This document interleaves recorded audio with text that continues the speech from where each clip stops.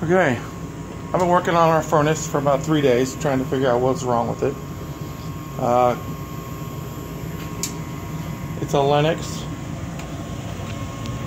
Here's the uh, model number, C23261, but a little more digging, I found out down here, it's actually an 80 MGF3 75A7 did a lot of research on the internet, YouTube videos, trying to figure out why my furnace would not fire up for heat. Researched a lot of things. I fired up and all I, I could hear the gas blowing, but there would be no spark. And I come to find out that this one does not have a pilot light, but it has what they call an igniter. Uh, spark igniter is this cable right here is connected to the spark igniter, which is in turn goes to the control board. The control board sends a message to the igniter, to, and you can hear it arc when it sends this sends the uh, signal, and then the gas flows, and then you can hear the gas fire up. And it wasn't doing that. So I've been trying to figure out why I did everything but spark. Uh, this here is the pressure switch. This is the induction blower right here. This is your gas valve. And there's an on and off switch on it. Make sure it's in the on position. Uh, I also had some flashing lights, as you can see. I have flashing lights and I've diagnosed that to figure out what the problem was. That didn't help me either. But I kept trial and error, everything. I kept checking out everything, trying to figure out what's wrong.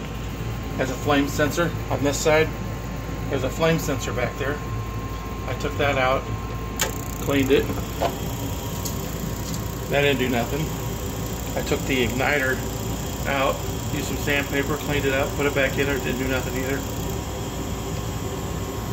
Racking my brain trying to figure out what is wrong with this, why it wouldn't start. Got a power switch over here. First thing you ever want to do if you work on your furnace is turn that power switch off. And that's your gas flow right there. Well, finally, after three days of working on it, trying to figure out what it is,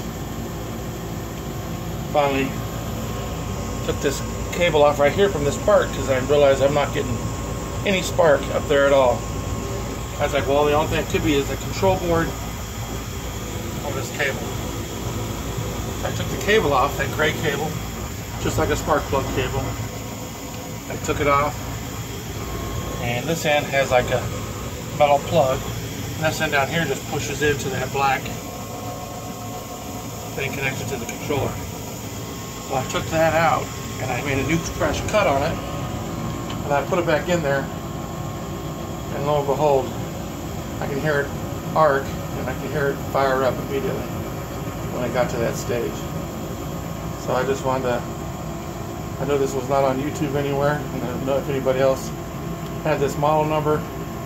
Maybe this will help you out uh, before you go spend a lot of money. This ended up not costing me anything because I just kept doing some research on it. Those control boards are about 300 bucks, so on this particular model. So that was the last thing I wanted to do, if that was what it was. So, a few, like I said, a few things that you want to do first is take your igniter off and clean it. has some uh, carbon buildup on it. Put it back in there.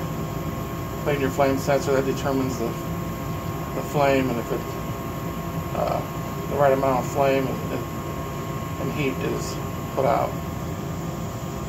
And uh, so if you have any questions, feel free to email me. Uh, I'll do my best to help you. And uh, thanks for watching this video.